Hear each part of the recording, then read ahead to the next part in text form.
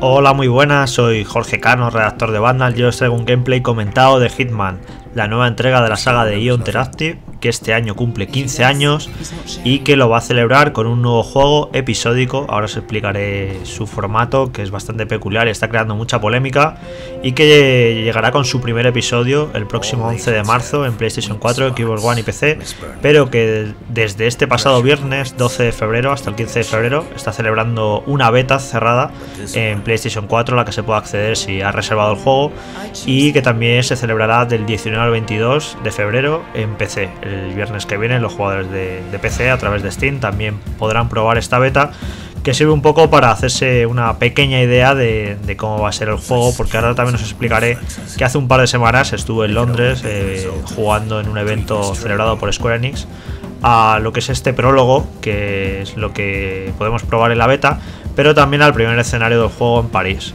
que te sirve para hacerte una mejor idea de lo que va a ser realmente esta aventura, porque el prólogo es muy pequeño, estás muy limitado y bueno, es un poco para aprender las mecánicas de juego y ver por dónde van a ir los tiros, pero no te puedes hacer una idea de cómo va a ser el juego completo porque los escenarios van a ser mucho más grandes y ambiciosos de lo que se puede ver en este pequeño prólogo.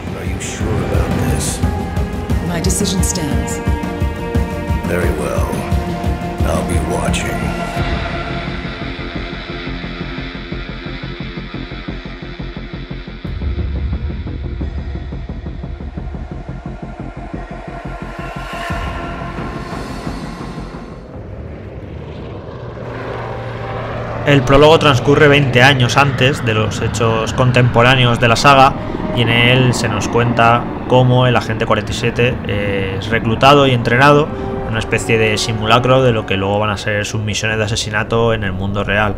Esto sirve como una especie de tutorial en el que nos explican las mecánicas básicas de juego, cómo funcionan las misiones y todas las posibilidades que tenemos a la hora de acabar con un blanco, que se puede hacer de muchas maneras, hay distintas oportunidades de asesinato y luego desafíos secundarios. Es un juego que está basado mucho en la rejugabilidad, en coger una misión y hacerla varias veces de diferentes maneras.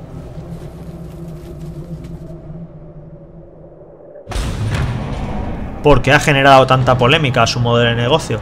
Bueno, pues porque lo anunciaron en un principio como un juego con acceso anticipado o early access, te iban a dar como la mitad por 30 euros y luego con el paso de los meses se iría actualizando. Y hace unas semanas anunciaron que finalmente va a ser un juego episódico. El 11 de marzo va a llegar el prólogo más la primera localización de la aventura que transcurre en París. Todo esto por unos 15 euros. Y luego los siguientes meses hasta final de año se va a ir actualizando eh, cada mes con un nuevo escenario. En abril llegará Italia, en mayo Marruecos y luego más adelante eh, llegarán Tailandia, Japón y Estados Unidos. Eh, así hasta formar un total de 6 escenarios y un juego completo de 60 euros. Tú decides si te lo quieres ir comprando por episodios eh, a partir del mes de marzo o con un pase de temporada que te dé acceso a todos los episodios que se vayan lanzando o esperarte a diciembre a que el juego ya esté completo y comprarte una edición física con estos 6 escenarios y con un precio de un juego completo de 60 euros. Que el nuevo Hitman vaya a ser un juego episódico, pues bueno, está generando mucha controversia, es lógico, esta ha sido una saga que durante 15 años pues ha lanzado con juegos completos sin ningún tipo de experimento. Y bueno, es entendible que, a los mayores fans y demás de, de esta serie les moleste que ahora vayan a lanzar el juego troceado. Así que bueno, hay opiniones de todo tipo, dejándose en los comentarios del vídeo vuestra opinión, que os parece que se vaya a lanzar de esta manera. A mí no me parece del todo mal, la verdad. Cuando salga en marzo por 15 euros, pues puedes tener una buena prueba del juego, de lo que es el prólogo y el primer escenario. Y si te gusta, pues bueno, sigues comprando el resto. Si no te gusta, pues eh, solo te ha gastado 15 euros, no has tirado a la basura 60. A mí no me parece una mala idea y en cualquier caso, a quien no le guste esto del formato episódico, pues bueno, puede esperar a que el juego esté completo a final de año y comprarse una edición física que traiga todos los contenidos. Al fin y al cabo no dejan de ser, pues eh, diferentes opciones para diferentes tipos de usuario. Pero bueno, también entiendo que, que, es algo muy extraño que no estamos habituados a que juegos AAA salgan así en formato episódico y es normal que haya molestado a mucha gente, que haya generado mucha controversia, sobre todo porque la propia Square Enix no parece tener muy claro cómo hacerlo, primero anunciándolo el producto de una manera y que a una semana de su lanzamiento eh, lo cambien y digan que ahora es un juego episódico. esta es la primera misión de este prólogo tutorial y sirve para familiarizarse con los controles, nos explica las mecánicas básicas, cómo es el sistema de coberturas, cómo es el hecho de llegar por la espalda de, un personaje y estrangularle o asesinarle y también el tema de los disfraces, que es una mecánica básica en la saga, muy importante en la jugabilidad el hecho de poder ponernos la ropa de diferentes personajes que encontramos en los escenarios, ya pueden ser guardias de seguridad, mecánicos, cocineros, etcétera, lo que nos permite acceder a, a diferentes localizaciones y partes del escenario. Y también importante, como veréis aquí, pues coger los cuerpos y ocultarlos para que no los vean y nos descubran.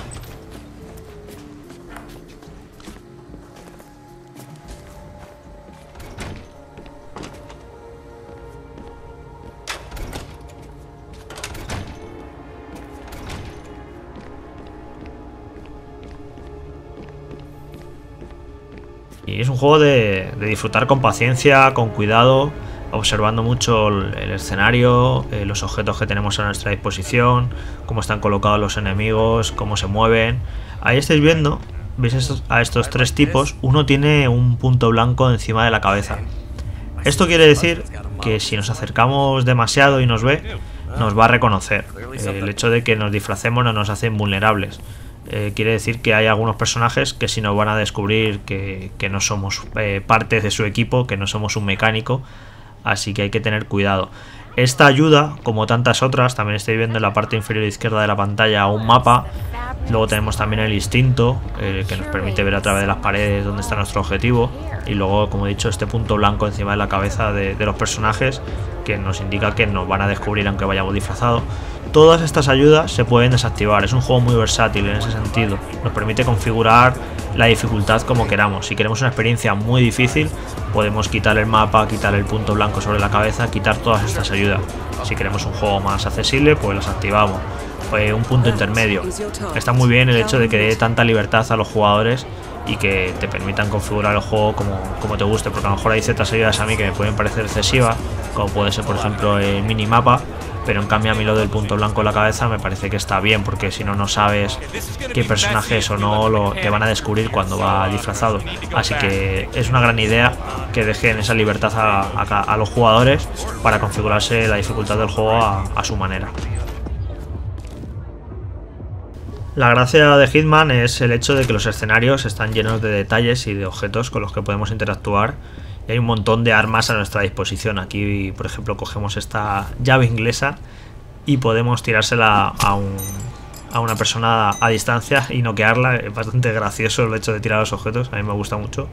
Y bueno, pues como no nos dejaba ese guardia de antes acceder a la parte superior vestido de mecánico, pues ahora le hemos robado aquí el, traje a, a este cocinero, parte de la tripulación, y ahora vestidos como de camarero del barco, pues ya podemos acceder a la parte superior. Hay que estar siempre teniendo en cuenta que dependiendo del lugar del escenario, pues podemos ir vestidos de una manera o de otra. Los objetos hay que tener también cuidado, ahí llevamos una pistola con silenciador, el cable con el que podemos asfixiar y también la llave inglesa. Hay que tener cuidado de no llevarlos equipados, porque si lo llevamos equipados y nos ven otros personajes, pues se alertan. Pero si pulsamos arriba de la cruceta, pues lo escondemos y, no, alertamos al resto de personajes. Ahora ya vestidos con, de esta guisa, pues ya podemos subir por estas escaleras y continuar la caza de nuestro blanco, que, es un tipo que está aquí de reuniones y de, bueno, con una serie de, chanchullos que se trae. Y aquí vemos cómo podemos eh, integrarnos en, el escenario y pasar desapercibidos. Como somos un camarero, y parte de la tripulación, pues podemos ponernos en esta mesa. Hacemos aquí como que estamos limpiando la barra y mientras estamos, escuchando la, conversación de nuestro objetivo, ese tipo que tenéis ahí que se ve en rojo cuando activamos el instinto, pues esto quiere decir que, que es el que tenemos que matar. Y bueno, pues ahí estamos haciéndonos los despistados, limpiando y escuchando la conversación. Esto es importante también porque a veces escuchando conversaciones del resto de personajes aparecen oportunidades de asesinato. A lo mejor nos dan una idea porque nos dicen lo que va a hacer cierto personaje, eh, cierta debilidad en el escenario. Es, es, interesante ir con cuidado y ir escuchando las conversaciones porque a veces nos, nos salen oportunidades.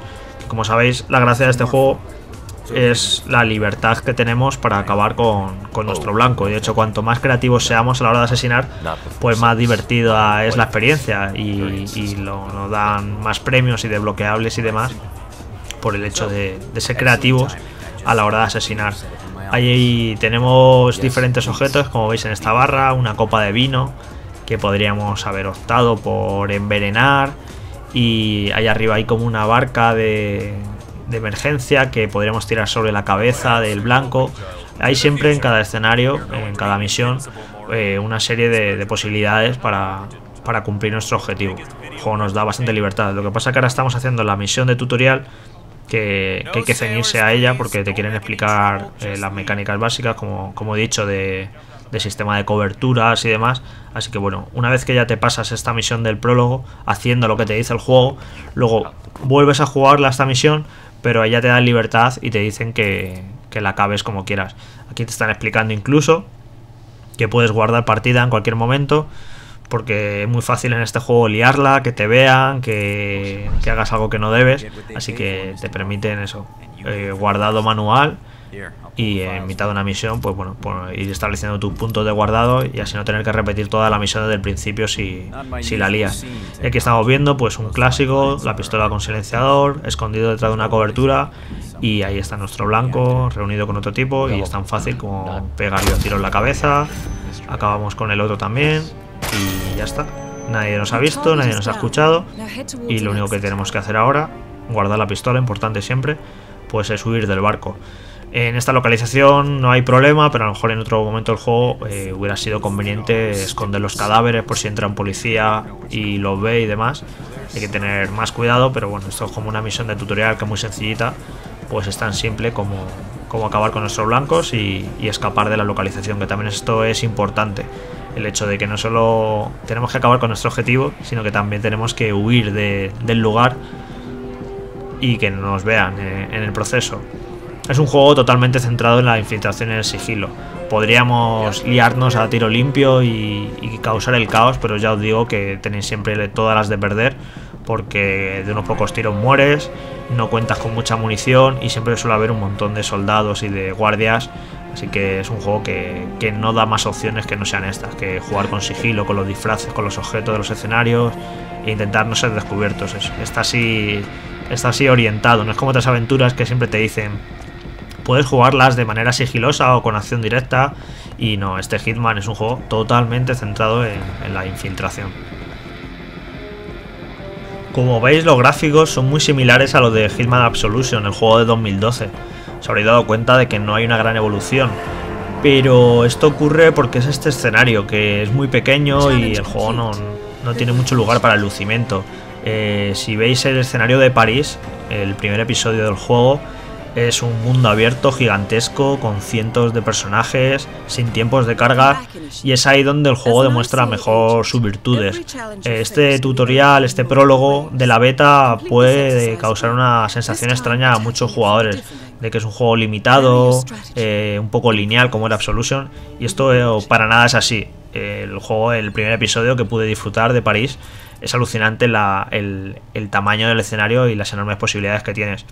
Y aquí estamos viendo un poco los desafíos que tenemos en cada misión, las distintas maneras en las que podemos acabar con un blanco. Estos son objetivos que hacen que cada misión sea muy rejugable, porque puedes acabar con el blanco e irte a otra misión, pero la gracia está, y sobre todo con el formato episódico que va a tener el juego, que va a salir un escenario una vez al mes, pues el hecho es eh, cómo se disfruta Hitman, es intentando eh, conseguir todas estas muertes curiosas o peculiares que requieren diferentes estrategias, ponerte un disfraz de un policía, conseguir un explosivo, envenenar una copa. El hecho de tener que currártelo e intentar averiguar cómo realizar todo este tipo de muertes, porque aunque te las indiquen aquí, en este caso en el menú de desafíos, Una cosa es que te digan lo que tienes que hacer y otra cosa es que lo consigas, el hecho de averiguar cómo hacerlo. Es un, un poco en ese sentido, a mí me recuerda a, a una especie de aventura gráfica o juego de puzzles a veces porque no es tanto la habilidad del jugador para esconderse y moverse entre las coberturas y demás, sino simplemente el hecho de saber lo que tienes que hacer exactamente, qué objeto coger, dónde encontrarlo, en qué momento exacto utilizarlo. Es un juego básicamente de puzzles, en cierto sentido. Y esto es curioso, ¿no? Porque a lo mejor lo ves como una aventura de acción simplemente en tercera persona y demás, pero luego es un juego muy de pensar y de, y de eso, de, de saber lo que tienes que hacer en cada momento, no tanto de en que la dificultad eh, se base en la ejecución de los, de los actos, no, no tiene ningún, ningún problema el juego en ese sentido, se controla muy bien, es muy sencillo y simplemente es eso, es darle a la cabeza y, y saber lo que tienes que hacer en todo momento.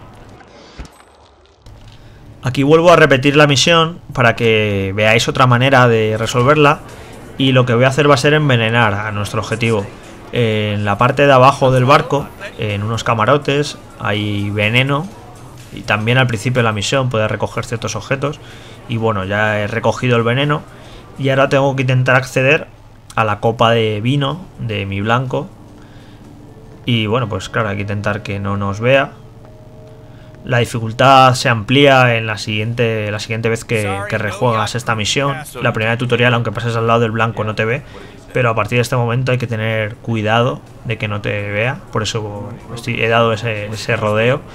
Y bueno, ahí está hablando con la mujer y ha dejado la copa en esa mesa, entonces aprovecho para coger el veneno y echárselo en la copa. También hay que tener cuidado que a lo mejor no te vean otros personajes o guardaespaldas. Es un juego muy exigente, aunque no lo pueda aparecer en, en esta primera misión de tutorial.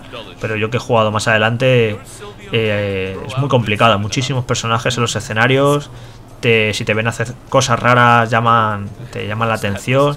Ya estáis viendo como el blanco está bebiendo la copa de vino y ahora en cualquier momento se va a empezar a, sentir mal y va a tener la necesidad de, de acudir al baño. Los desafíos que hay en cada misión no son necesarios hacerlos en partidas diferentes. Me explico. Eh, por ejemplo, en esta misión había como 15 desafíos y no tienes que jugar la misión 15 veces para hacer esos 15 desafíos. En una partida puedes hacer varios de esos desafíos. Por ejemplo, eh, aquí había un desafío que era envenenarle, ya lo he conseguido, y otro de ellos era eh, ahogarle en la taza del váter, que es una de mis muertes favoritas. Aquí lo vais a ver. Es bastante cruel y humillante. Y entonces ya con esto tengo dos de los desafíos. Y un tercero era esconder el cuerpo en un armario. Pues ahora como tengo aquí un armario detrás, pues cojo y, lo escondo. Así que he conseguido en una misma partida eh, tres de los desafíos. Envenenarle, ahogarle la taza del váter y meterle un armario. E incluso podía haber conseguido más, porque había uno de ellos que era lanzar una moneda y con ello distraer a un guardia. Así que en una partida puedes aprovechar para cumplir muchos de estos desafíos. No hace falta jugar la misión 15 veces para cumplirlos todos. A mejor si si sabes cómo hacerlo y, tienes la inteligencia suficiente, en 3, 4 partidas yo creo que se pueden cumplir todos los desafíos de, de una misma misión. La siguiente misión de este prólogo y la última, y también de la beta, es en una simulación de una base militar, creo que en Cuba. Y bueno, es un escenario un poquito más grande, más complejo, con más guardias, hay que tener más cuidado incluso aumenta la dificultad y sirve para introducirnos y explicarnos las oportunidades de asesinato. ¿Qué quiere decir esto? Que en cada misión, para acabar con nuestro blanco, tenemos como una especie de misiones predefinidas, eh, que pueden ser 4, 5, 6, depende del escenario, y que son como eh, pequeñas misiones dentro de la gran misión, con una serie de objetivos para eh, asesinar a nuestro blanco de una manera más creativa y, espectacular de lo normal. Podemos acabar con, nuestro objetivo siempre de, de, cualquier manera prácticamente, con una pistola estrangulándole, tirándole un objeto en la cabeza, con un explosivo. Aquí no hay limitaciones, el juego te da una enorme libertad para, acabar con el blanco. Pero luego está esta pequeña serie de misiones que es para acabar con el objetivo de una manera eh, curiosa, con una cinemática, y bueno, pues tienes que ir siguiendo cuando escuchas la oportunidad de asesinato, pues tienes que ir siguiendo una serie de, de objetivos para poder realizarla. Esos dos primeros guardias que estaban ahí al principio del juego, eh, les he oído hablar de que hay un avión, que hay unas pruebas que hacer y demás. Y eso entonces genera la oportunidad de asesinato. Ahora tengo que intentar eh, eh, robar un disfraz de, de, guardia de seguridad. Aquí está el guardia de seguridad. Pues he tirado una moneda para que vaya a ese punto del escenario e intentar robarle el traje. Una vez que tengo el traje de guardia de seguridad, me interno en la base y bueno, hay que ir realizando una serie de objetivos que te va marcando el juego. Pero primero has tenido que descubrir la oportunidad de asesinato y empezar a, a seguirla. ¿Qué ocurre? Que esto, bueno, facilita bastante las cosas, ¿no? El hecho de, de ir siguiendo los, estos objetivos. Aquí, aquí las físicas del juego se, se, han vuelto un poco locas, hay que recordar que esto es una beta. Por lo general las animaciones y la física del juego son, son bastante buenas. Así que nada, aquí me pongo el traje. Y las oportunidades de asesinato si las tienes activadas en el menú de opciones, se te marcan en el mapa. Tú abres el mapa y ves en el, en el, lugar del escenario en el que están. Entonces es tan simple como acudir ahí y ya vas siguiendo la, la misión. Que no quiera esta facilidad, puedes activarlo a las opciones y tiene que explorar el escenario y descubrir estas oportunidades de asesinato eh, escuchando alguna conversación y demás. Como he dicho antes, es un juego muy configurable en lo que respecta a, a, a dificultad y seguro que los jugadores más dedicados, más hardcore, pues van a decidir desactivar este, esta ayuda de, que te marque las oportunidades de asesinato. Porque un poco también le quita la gracia a la exploración. Si ya sabes rápidamente mirando el mapa a dónde tienes que acudir eh, para iniciar esa oportunidad de asesinato, facilita demasiado las cosas y bueno, pues es una opción que tenemos si no nos queremos eh, complicar demasiado la vida. Podemos dejarlo activado y mirar en el mapa dónde están las oportunidades de asesinato pero si no podemos tranquilamente desactivarlas en las opciones y tener que ser nosotros explorando eh, los que descubramos lo que tenemos que, lo, lo que, tenemos que hacer para, para, iniciarlas. Aquí vemos cómo nos hemos internado, nos hemos puesto el traje este de mecánico, hemos robado una llave inglesa y lo que tenemos que hacer es sabotear el, el asiento del avión para que ocurra una escena bastante divertida como nos hemos puesto el traje mecánico, aquí veis que hay dos mecánicos que, tienen un punto blanco en la cabeza. Esto quiere decir, como he explicado antes, que si nos acercamos mucho nos van a descubrir. Y aquí me están descubriendo y me han marcado como sospechoso. Están los dos personajes con, con la exclamación arriba y veis cómo viene detrás mía porque no le ha gustado lo que ha visto. Pero bueno, me, me voy a la parte trasera y le estoy, le estoy dando de lado hay que tener mucho cuidado eso, que los disfraces no nos hacen vulnerables y no nos podemos acercar demasiado a ciertos tipos de personajes. Que con esta opción activada, pues nos lo marcan ahí encima de la cabeza. Así que no es demasiado complicado. Pero si lo tenemos quitado, sí que, sí que puede ser muy difícil el hecho de tener que ir averiguando a qué personajes les va a mosquear nuestra presencia y, y a cuáles no. Como he comentado, este prólogo o tutorial, pues bueno, no sirve para, para hacerse una idea eh, realmente cierta de cómo va a ser el juego, porque el juego es muchísimo más grande, lo que son los grandes escenarios. El primero de ellos, París. Entonces tenéis que imaginar que todo esto que os estoy mostrando, todos estos detalles y las mecánicas de la jugabilidad, pero aplicadas a un escenario que puede ser pues 8 o 10 veces más grande que esto que estáis viendo. Con muchísimos más personajes, muchísimas más oportunidades de asesinato, de objetos. Eh, en definitiva, pues todo mucho más complicado. Me pareció de hecho bastante difícil el, juego porque en el escenario de París tienes que acabar con dos objetivos y es bastante complicado porque si no lo haces bien con uno de ellos, el otro se alerta y huye. Así que hay que tener, hay que tener mucho cuidado, hay muchísimos guardias y a la vez que tienes muchas herramientas, objetos, oportunidades para hacer tu trabajo, para asesinar, también tienes otras muchas dificultades. Así que entra en, juego un montón de, de variables y de, elementos que hacen la experiencia mucho más compleja de lo que podéis ver en esta beta y, o en este prólogo.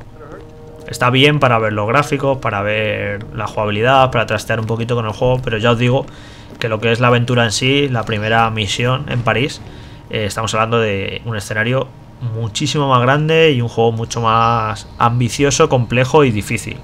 Así que no penséis que, que el resto de la aventura va a ser como lo que estáis viendo ahora mismo.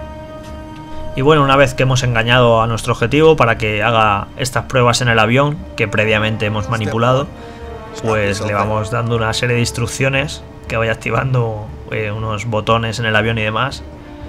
Un protocolo de seguridad, por así decirlo, y el pobre va a acabar un, tanto mal y de una manera bastante divertida.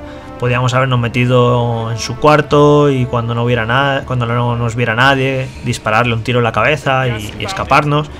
Pero como vais a ver, es muchísimo más divertido acabar con nuestros objetivos de, de este tipo de maneras, con estas, ah, con estas oportunidades de asesinato. Ahí veis cómo sale propulsado y es una de las gracias de, de Hitman, el hecho de que es un juego con un tono eh, serio, eh, por así decirlo, pero luego a la vez tiene este humor negro que, está en la manera de, acabar con los personajes. Se pueden hacer cosas bastante retorcidas y, y graciosa. Ya habéis visto antes cómo le he metido eh, la cabeza en el váter. Y ahora esta muerte también bastante estrafalaria que, es lanzarle por los aires con, el avión. Es algo también un, clásico de la saga, su humor negro.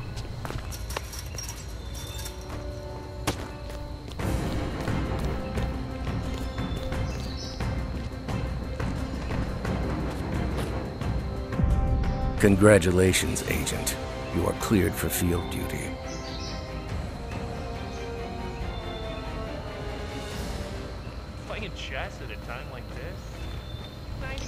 El primer episodio de Hitman se lanza el 11 de marzo y cuenta con este prólogo que estáis viendo, las dos misiones, la del barco y la de esta instalación en Cuba. Y luego lo verdaderamente importante, el primer escenario en París, que como os he dicho es enorme, con un montón de oportunidades de asesinato, de objetivos secundarios y demás. Eh, hay muchas quejas, hay gente que le parece caro, porque dice que por 15 euros, que solo tener una misión es muy poco. Bueno, esto, esto ya lo iréis viendo. Yo creo que lo que ofrece en cuanto a cantidad de contenidos está bastante bien. Hay muchísimas cosas que hacer en cada escenario.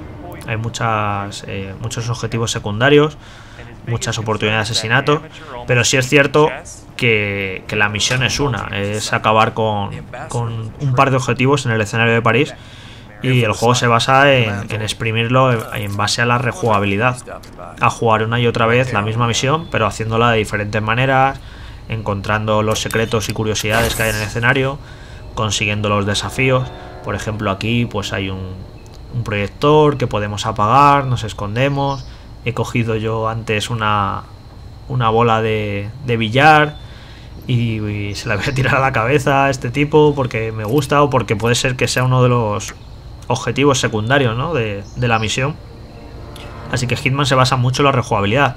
Está claro, a quien no os guste jugar una y otra vez lo mismo y haciéndolo de diferentes maneras, a quien el factor rejugabilidad no lo consideres algo importante, pues sí que puede ser que los 15 euros que va a costar el prólogo más el primer escenario eh, puedan ser caros. Así que ya sabéis que, parte de la gracia está en exprimirlo, está en la rejugabilidad. Luego tenemos los contratos. Son una serie de misiones que crea la comunidad y que comparte a través de internet. Y que es cualquier personaje que veamos en el escenario, por ejemplo en París creo que hay unos 300, pues podemos elegirlo como un blanco y poner unas condiciones. Por ejemplo, eh, hay que matar a este tipo con una espada disfrazado de cocinero. En definitiva, hay una, un montonazo de misiones que va creando la, la, comunidad, que va poniendo sus propias reglas. Pues ahí también tenemos eh, cierta rejugabilidad. Luego hay otro tipo de misiones de dificultad creciente que crea los, los Ion Interactives, los desarrolladores del juego. Luego vas a tener desafíos diarios o por horas. Eh, eh, van a ser objetivos que van a meter en los escenarios, a lo mejor durante 48 horas, y solo vamos a tener ese tiempo para acabar con ese blanco. Si en 48 horas no hemos matado a ese personaje, ya nunca más va a volver a aparecer en el escenario. Bueno, hay una serie de alicientes para rejugarlo y para que estemos enganchados a ese contenido. Pero si es cierto es eso, que todos basados en la rejugabilidad y en estar otra vez moviéndonos eh, constantemente por ese mismo escenario de París.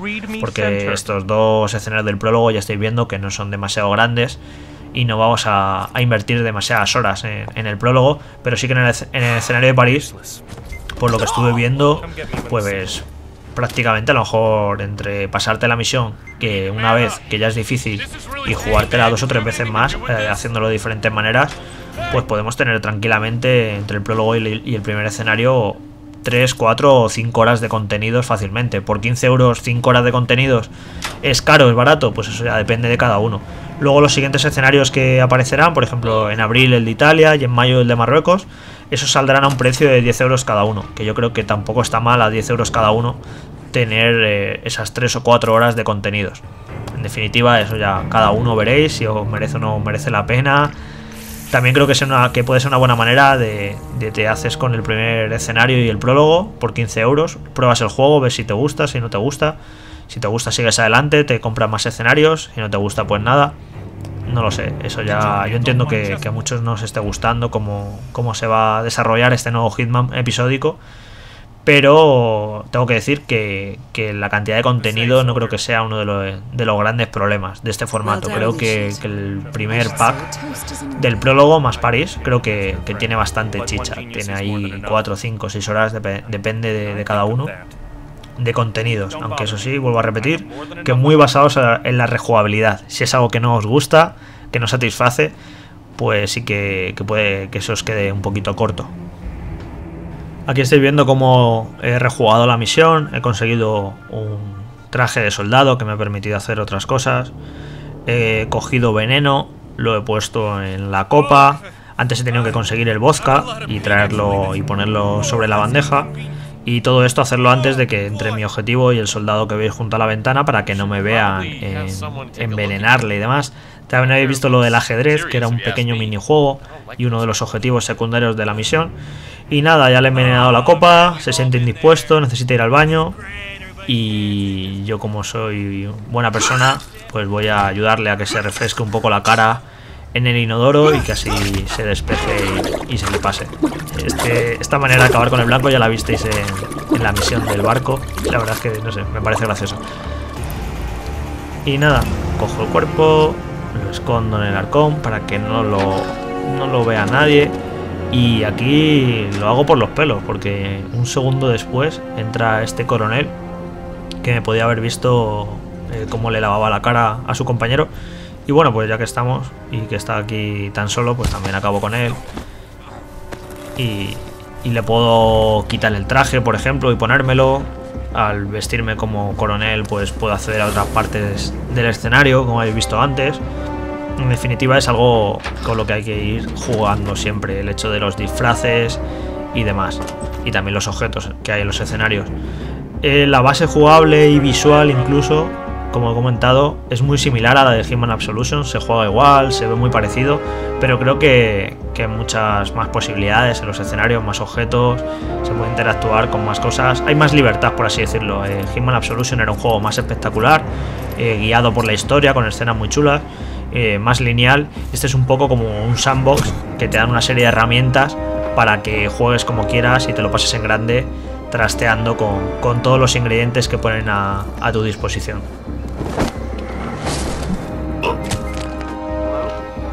Y esto es todo por hoy. Si queréis jugar a esta beta, tenéis de tiempo hasta el lunes en PlayStation 4. Reservando el juego, te dan acceso a, esta beta. Y a partir del viernes de la semana que viene, en PC, también durante el fin de semana, los usuarios de ordenador, pues también podréis disfrutar de esta beta. Y el juego, el prólogo, lo que habéis visto, más el escenario de París, se pondrá a la venta el 11 de marzo en PlayStation 4, en PC y en Xbox One, por un precio de unos 15 euros. Espero que os haya gustado el vídeo y nos vemos en el próximo. Un saludo.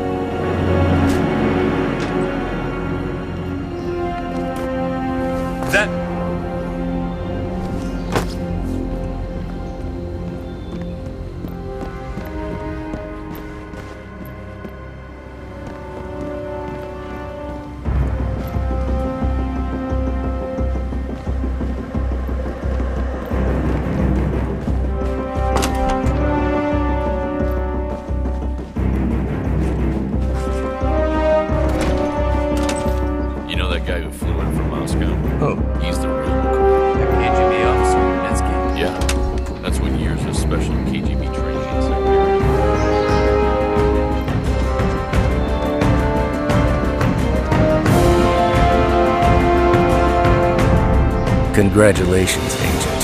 You are cleared for field.